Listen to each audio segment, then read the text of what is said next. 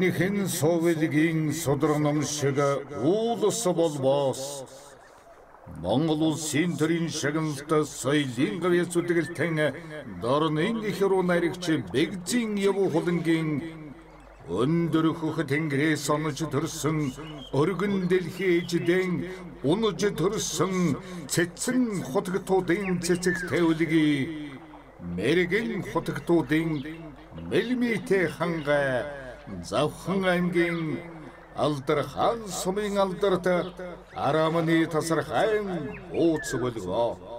Энэлэртний буурал улсын өвөрт яг одоогоос 90 оны өмнө дорны их яруу найрагч явуу хулан анчин гөрөөчин эцэг бэгзийн ариун голом тонд төрсөн болгоо. Өрн зүгээр.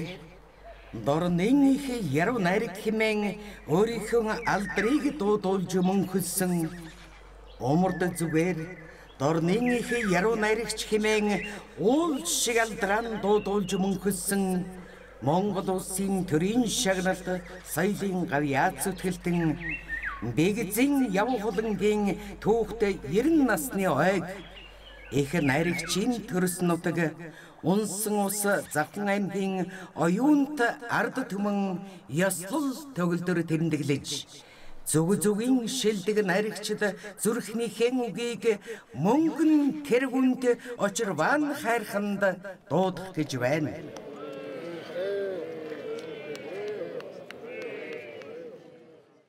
Отог ийн авшиг хой төгөлдөр зан олон мэдээ хүрн зүрхнээ татагдам өвгийн сэнхэр нутагтай билээ.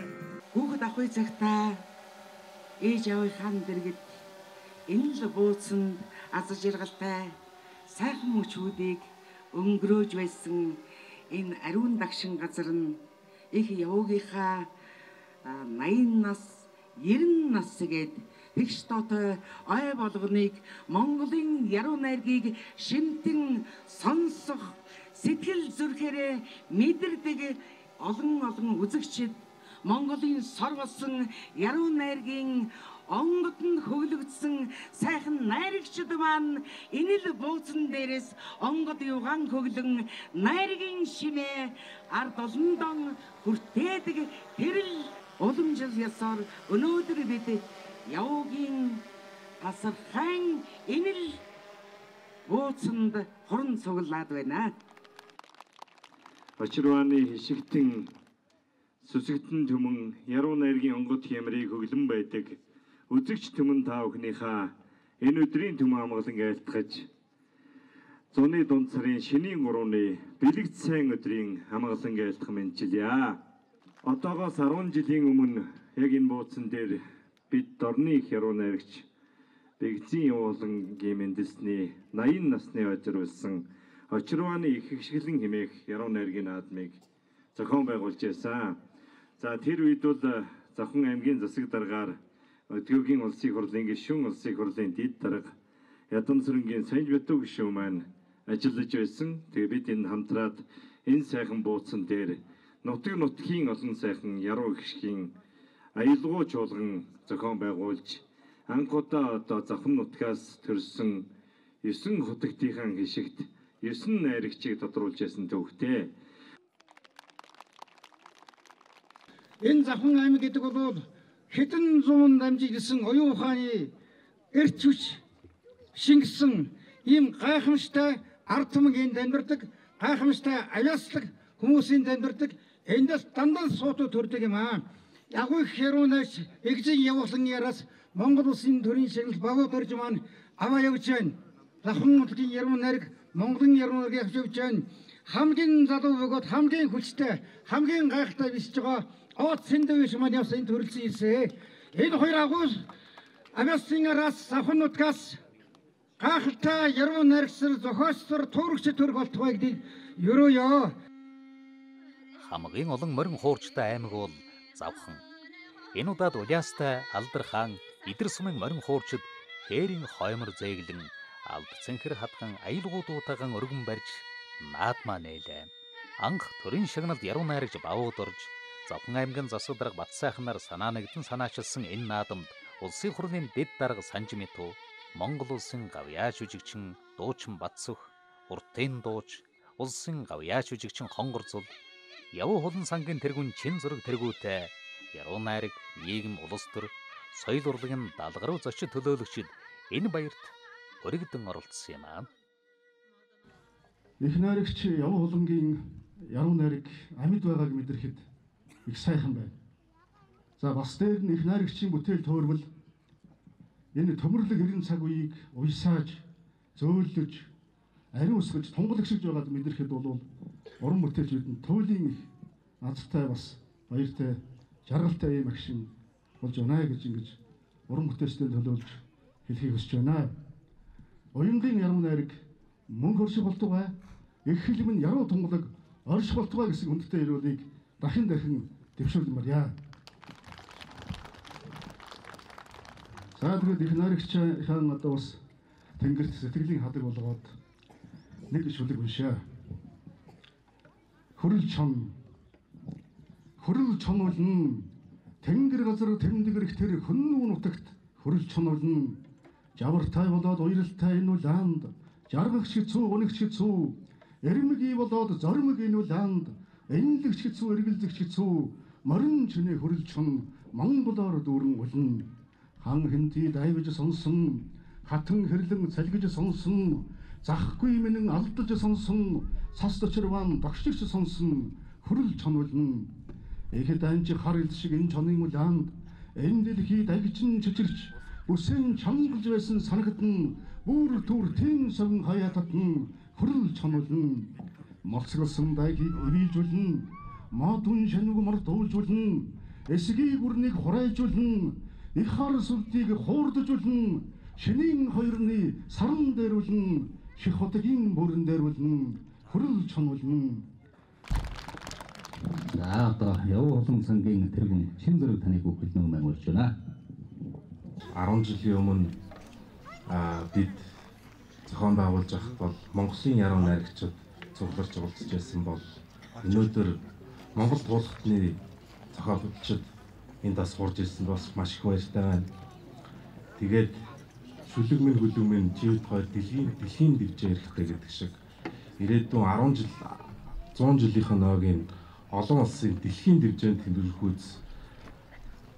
тэмдэглэхүйц Учирваны их шиглэн яруу найргийн наадам болгон үргэлжлүүлж ажиллахыг хичээж ажиллая гэж та бүхэнд хамгийн тусгай өмнөөс бол өөрийнхөө амун сан өөрөдмийнх нь өмнөөс амлая. Гурав дахь удаагаан зохион байгуулагдаж байгаа энэ наадам улмаа өргөн дэлгэр болж шин содон бүхнээр баяжиж байгааг нэгэн жишээ нь найрагчд арамны тасархан бууцанд шүлэг зохиох хуралд анзаарлаж шалгарсан шүлгийг гаруй чимлэр ном болгон хэвлэх явдал байлаа. Энэ уралдаанд яруу найрагч Баяр Жаргал, Алтан уул, Жамбал доржнаар тэргүүн байрт шалгарлаа.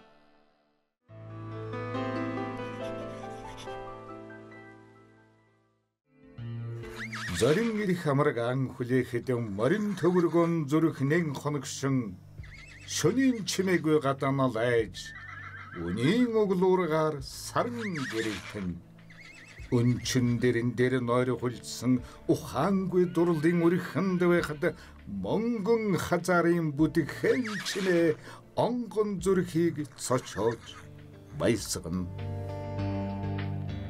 Их яв хуулангийн яруу найргийн энэ өдөрлгүүд энэ жилийн туршид явж байгаа их ойгон тэмдэглэх энэ хөтөлбөр бол нэг талаас нь харах юм бол эхлээн одоо дархлаажуулсан эхлээ сэргээсэн их хилэн сэргээсэн ийм сайхан хишиг уянтай номын хишигтэй өдрүүд ингэж үргэлжиж байна гэж уран бүтээлчүүний хувьд бэлэгшээж бодож байна. За үзэж байгаа энэ олон яруу найрагчдын бүтээлийг сонирхож байгаа Төмөн олон ч гэсэн одоо ийм одоо сайхан сэтгэлтэй байгааг харахад баяртай байна. За тэгээд дээр нэг юм тодтогоод хэлэхэд Завхан аймгийн утга цоролын нэгдлийн 70 жилийн яваа бас энэ жил дохиож байгаагаараа бас их онцлог юм сайхан байгаа. Тэгээд энэ 70 жилийн хугацаанд Завхан аймгийн утга цохиолын нэгдэл бол Монголын утга соёлын ертөнцид олон сайхан авиас төгөлдөр зохиолч яруу найрагчдыг бас хөтөж хийж авиас бэлгийг нээж хүргэж өгсөн ийм одоо сайхан утга цохиолын нэгдлээ гэдгийг бас энэ албанд бас тодотгоод аймгийн утга цохиолын нэгдлийн үе үеийн зохиолчид, яруу найрагчдаа бас нийт уран бүтээлч нөхдийнхөө нэрийн өмнөөс бас айн баярын одоо халуун мэндийг өргөн дэвшүүлье гэж ингэж бодож байна.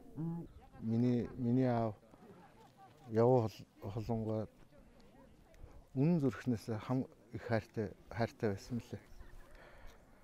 Яагаад гэвэл миний аав 20 жил намаа гаргаж чадахгүй явахт нь бигзээ явуу холонгоо өөрөө даан авч анхных нь номыг үлгийдэж миний аавыг уран зохиолж хамгийн том алхам хийхэд нь түшид тулсан агуу их яруу найрагч.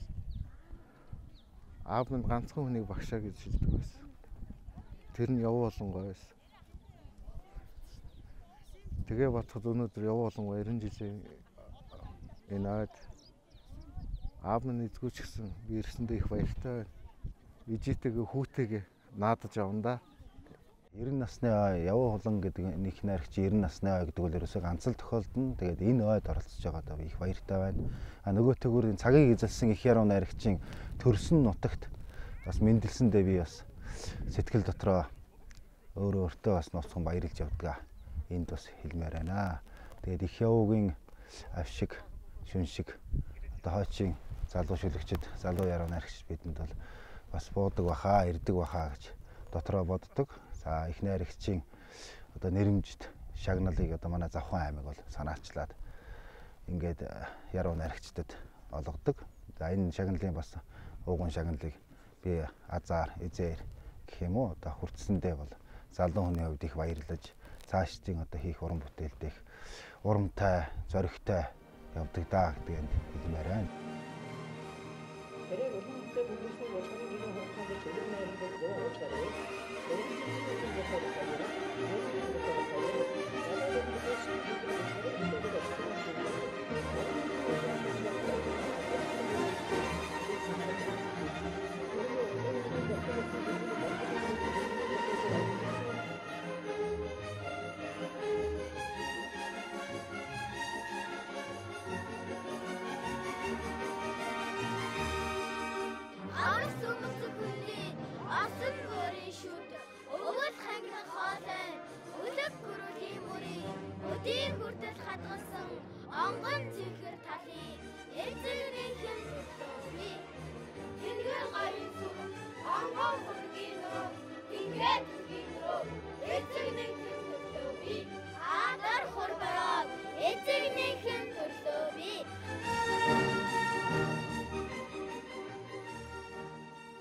Тэгээ багш маань уран бүтээлээ хэрхэн яаж бүтсэн тухай цаашид одоо ямар уран бүтээлээр ажиллаж байгаа тухай олон удаа ярьж дуусдаг байсан юм.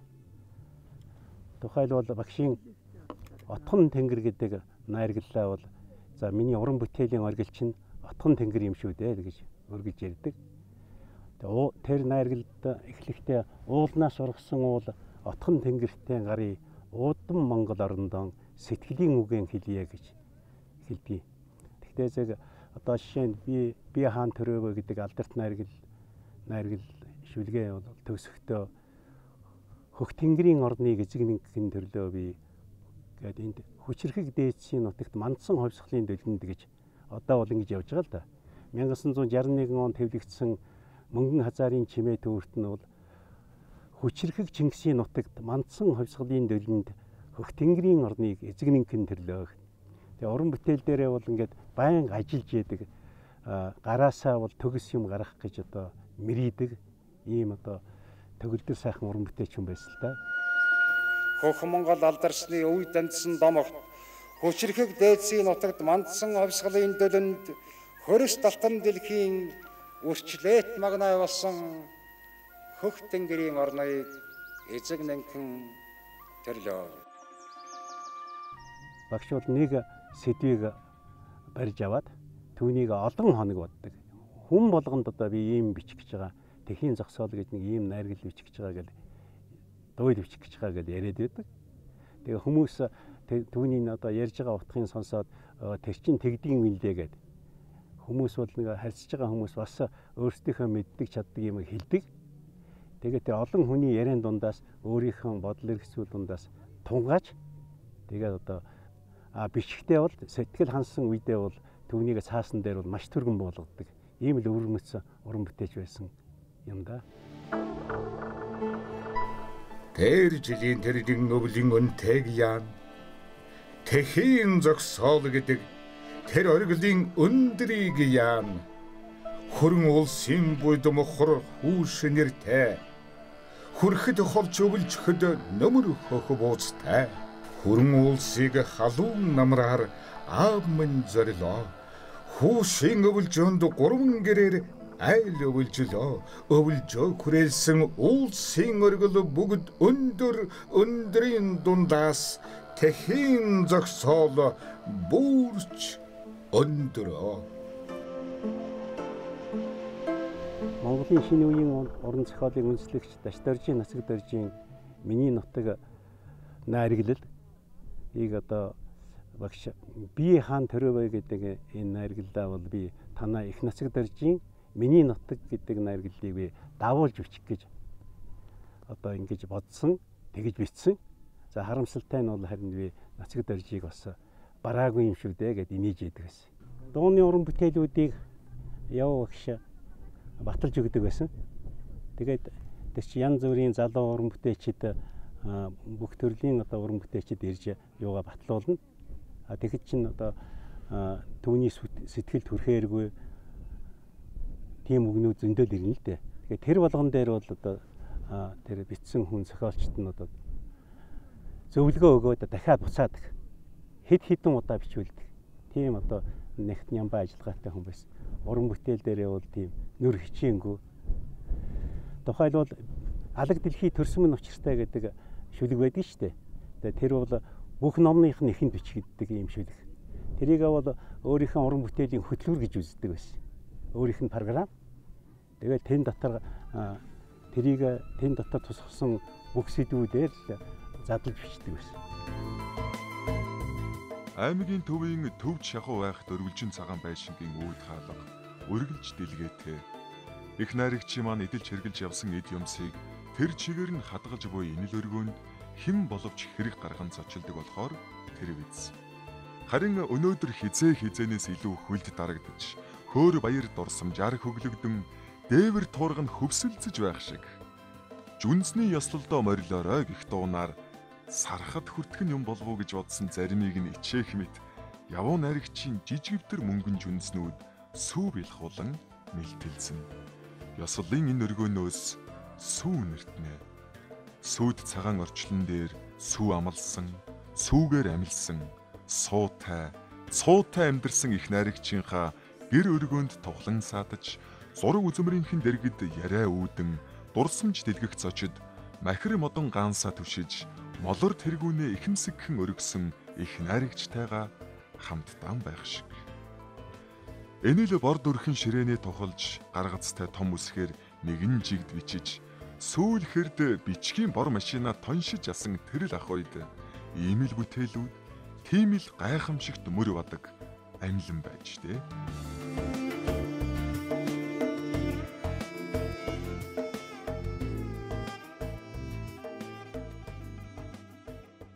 Шүлэг минь хүлэг минь чи бид хоёр шүүдөр мэлтрэн цэцэг уйлтал дуулах ёстой. Шүлэг минь хүлэг минь чи бид хоёр сар мэлмэрэн хээр хонтол дуулах ёстой. Алтан нараалган дээрээсээ мандатал дуулахад шүлэгч надад тэнгэрлэг нэгэн хоолой хэрэгтэй. Аялсан дууган алг дэлхийд төвтөл давхад хүлэг чамд тэнхээлэг нэгэн шандас хэрэгтэй шүлэг минь хүлэг минь чи бид хоёрт хүн ард минь загсан үгүй нэгэн захиас би. Шүлэг минь хүлэг минь чи бид хоёрт хүрэн зүрхэндээ нууссан холын нэгэн бодол бий Яруу найрагч зүгээр ч нэг ирдэггүй. Яруу найраг зүгээр ч нэг төрдөггүй юм байна гэж одоо улам бүр ойлгож байна. Тэгээ яваа огш маань одоо тухайн үед одоо энэ төрсөн одоо хүйдэрсэн алтан тоонт бууцанд нэрнэ гэж одоо бодож сан зөөдөлж явсангүй. Тэгээ яваа огшгаа одоо энэ төрсөн хонд бууцанд одоо хоёр дахь ирж байна. Дахиад ч бас ирнэ.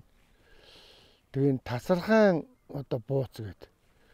Тэгээ энэ өглөө ярьж баярж болоод энэ их хүмүүс бол ер нь төрсэн газар нүртэл бас тийм авшигтай байд юм байна. Энэ тасархай төрсэн хүн тасархайд байд юм байна. Тэг үнэхээр тасархай л хүн байж тэ тасархай хүн байсан. Явагш минь бас авч тэгээд миний номыг одоо үлгээдэж авч одоо төмнөө хүрэх болсон гэхэд би ч одоо бараг цочоод гайх шиг болоод тэгээд одоо явагчтай нэгэн навтрах нэг анхны номыг нэгэн шүлгээ бариад очлоо. Тэгээд яваг шин тохиолдуулсан. Тэгээд нэг ногоон цоохор юм болгоод а би бол тэгэж одоо ингээд цоохорлоо мохорлоо гэж одоо ерөөсөө тэгэж гомд зарах юм байхгүй. Зүгээр баярлал тэгээд яваг шин номын өмхөн өмтгöd алио мэрэгждэг бол хүн сонгож явж болно одоо эмч багш одоо тэгэл газар шинжээч одоо хуульч эдийн засгч гэд. А тэгтээ мэрэгжлээ өөрөө сонгодог мэрэгжил нь өөрөө хүнийг сонгодог ганц мэрэгжил байдаг энэ бол сэтгэл зүрхний орон чимэг яруу найраг юм аа. Айта дэлхий дэлхий дэлхий. Аминдралын алтан үлгий цэнгэг ус агаар нарны орон. Цогж авахтанд хүн чиний зэн нар гисэн дэлхий чам дээр насаан бидэлээх чамтай ариухан чамайгаан үеийн үед алаг нүчгэн хайрлах учиртай Энгви удмын чинь нэг эхэн талд эхөрмэн цэри чиви. Хөрс газрын чинь нэг нугад хүйдэрсэн чулуумын би. Хорвоод ирэхэд минь угтаж авсан хүний сайхан сэтгэл би холихд эцсийн минь түүх хатгалсан хүн ардын минь соёл бий.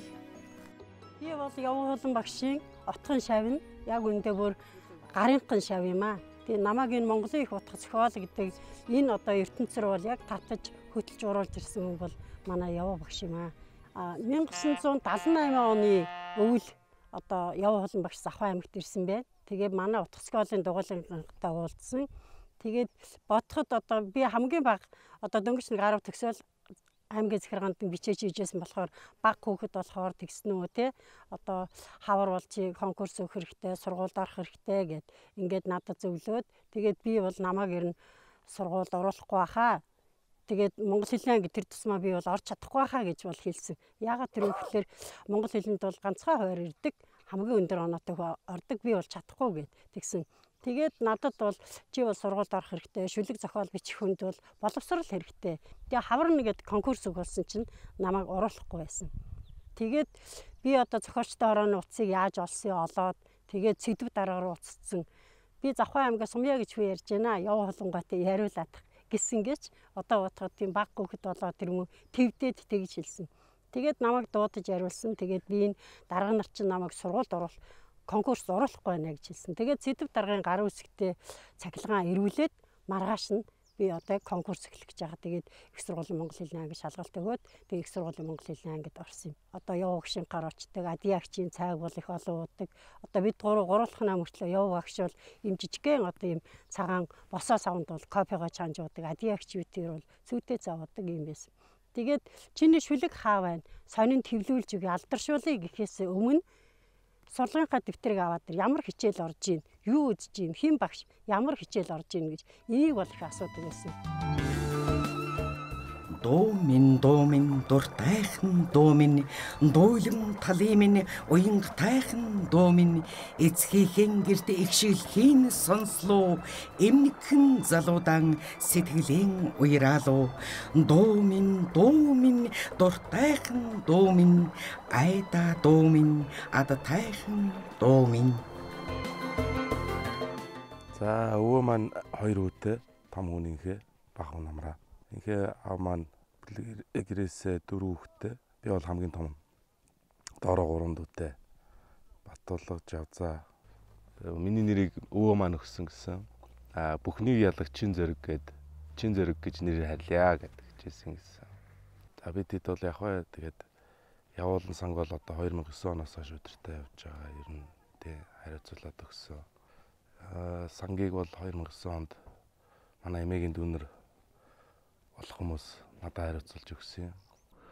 Дорны их яруу найрагч Яв Холонгон онч мэрэгүү хүсийн одоо чуулбар ном гаргалаа. Мөн одоо бас Яв их найрагч зориулсан бас утга зохиол сүрний тусгай дугаарууд хэвлэгдэнэ. За манай зохиолч уран бүтээлчид шавь нарын нь бас дурсамж турсамжийн тэм сайхан бүтээлийн номч гэсэн бас гарна. Энэ сайхан ариун дагш нутагт богд очир байна уулын хаан уулын нутагт хаан яруу найрагч төрдөг хаан яруу найраг төрдөг гэдэг нь бол ойлгомжтой байдаг. Энд бол яруу найраг төрдөг харин төрсөн яруу найрагаас нь яруу найрагч төрдөг ийм гайхамшигтай сайхан нутаг юм байна гэж бодож байна. Тэгээд энэ сайхан нутгийг яруу найргийн хийгээд мөн хөх тэнгэр нь тэр хөх манхан тэнгэр нь энэ нутгийн зон олон бүхнийг ивэлдэ багтааж улам их алдарш болтугай алдар хаан байх болтугай гэж ерөөж байна. Баярлалаа. Туулын урсгал шүндөн сайхансан. Торгондолгоо хаялан мяралцдагсан. Хоёр ангир дандаа л хөвдөгсөн. Холын анир хонгаал дуугардагсан. Урсгалд номбогч сарыг ачин усанд нь хөвгч оддыг тоолон бүр түүрхэн дохиол лондурсан үүр цайлгах би дуртайсан. Шившин шивнэх залуу навчис шүнийн дуу надад аялдагсан.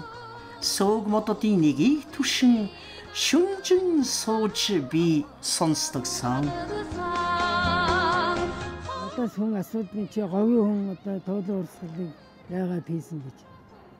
Яг бид номын уншиж байгаад л тэр шүлгийн л одоо дурлсан одоо жоохон орсон гэж хэлэх ёстой юм.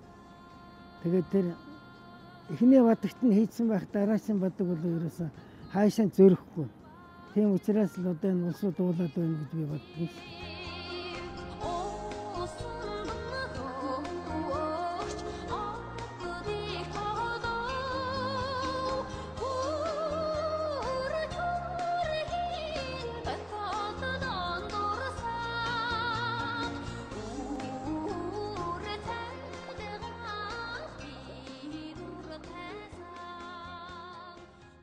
Чинь бидүүд ном бас их уншдаг байж яруу найргийн төвөр их сайхан зохиолууд их гардаг байсан.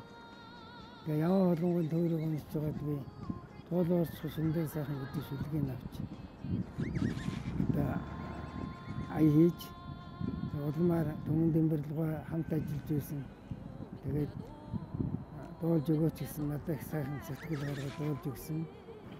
Тэгээд байж утга зохиосон нооттой хөвгтөнд тавина гэд энэ утастай айлаа хажууд байсан. Тэгээд тэр үуч нь нооттой дуу гарна гэдэг ч одоо их баяртай сайхан үе байсан л да.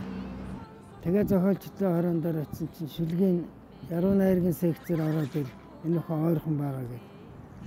Тэгээд хаалгын таттал харин яваа болонгоо сууж идэв. Гэсэн яваа болонгоо яруу найргийн цоцоолын секцийн одоо аргагүй штэ эрхлэгч нь байсан юм байна. Урд нь бол яваа болонгоогоос одоо дууг одоо эмээгээд одоо ямар дуу болсон бол өөрөө юу гэж боддог бол одоо уулзаж чадахгүй явсан чинь тэгэж галилейтийн хүчинд одоо уулзаж тэгээд намайг чи хачи хөөгч надтай уулздаггүй би хоёр дундаа хайртай гэж яриа хөөрэ болоод битэр тэгж уулзаж анх одоо орон бүтээлийн ямаа ярилцаж байлаа.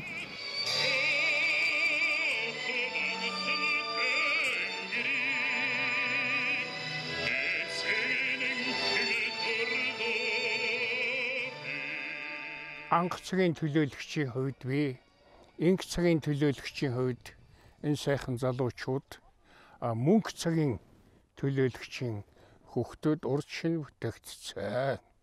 За ингээд явуул яруу найргийн гурван мөнгө цагийн одоо уяачин юм да. Өөрөө бол тийм торгон ирэн таарсан, сувдан хөлсөөнд сулалцсан торгон ирэн таарч одоо тийм ажны хөлөх шиг тийм хүн байсан да.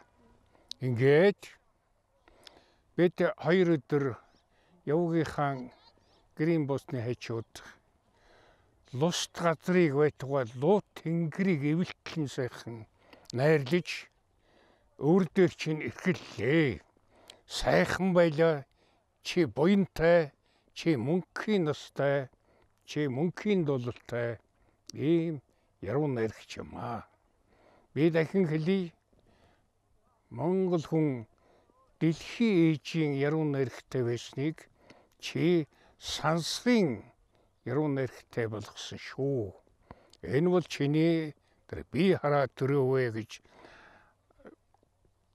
асуултын тэмдгээр өдөөлөг цацж яваад урд нь Монгол шүлгийн нэр бол зөвхөн нэр үг байдаг байсан.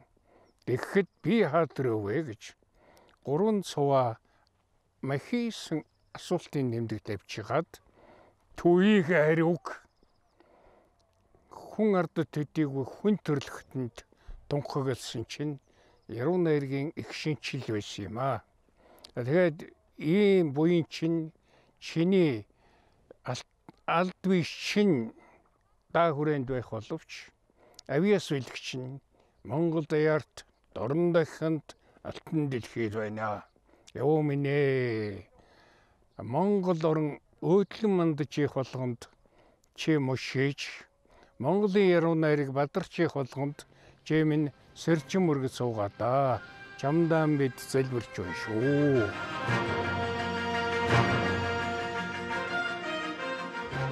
Хөхманхан тэнгэрийг эцэг нэнхэн төрлөө би. Хомсгөн сарны аялах алсын алус тойрогт холын хоёр одны тохиох бяцхан чөлөөнд хоёр нүдний үзүүрд цэнхэрлэх төдий тэр дээд хөхманхан тэнгэрийг эцэг нэнхэн төрлөө би. Цаста цагаан уулыг эзэгнэнхэн төрлөө би. Сан хүүрэгс авсаж үүлэс сороо хориголд цасан ширхэг зарцаж мөс болох халилд цариг аахвитэн өвл сарлагын бухтажсан цаста цагаан уулыг эзэгнэнхэн төрлөө би. Онгон цэнхэр талыг эзэгнэнхэн төрлөө би орг саарл зэрэглээ хавар сүмэлзэх хөндийд орсон буурын шүд өвл хангины хоолойд үлэг гүрвэл ин мөрийг өдий хүртэл хадгалсан онгон цэнхэр талыг эзэгнэнхэн төрлөө би зүүрмэглэгч хүн шиг гэрээг эзэгнэнхэн төрлөө би зүйдлгүй цагаан өрхний хоймсолж томсон оосорт зүрхэн улаан галтай ган тулгын тотхонд зүүн төмөн үед Монгол хүний дээшилсэн зүүрмэглэгч хүн шиг гэрийг эзэгнэнхэн төрлөө би. Зүүрмэглэгч хүн шиг гэрийг эзэгнэнхэн төрлөө би. Зүйдэлгүй цагаан өрхний хоймсолж томсон олсолт зүрхэн улаан галтай ган тулганы тотхонд зүүн төмөн үед Монгол хүний дээшсэн зүүрмэглэгч хүн шиг гэрийг эзэгнэнхэн төрлөө би. Сайхан бус үеийн сэтгэлийг эзэгнэнхэн төрлөө би. Сором сундун дан талимарах алагнууд ниймэлмэрэнд сайлын үнэр хангасран дээлийн хормой нуглаасанд санан санан уйрах цэвэрчмтгий аашинд сайхан бус үеийн сэтгэлийг эзэг нэнхэн төрлөө би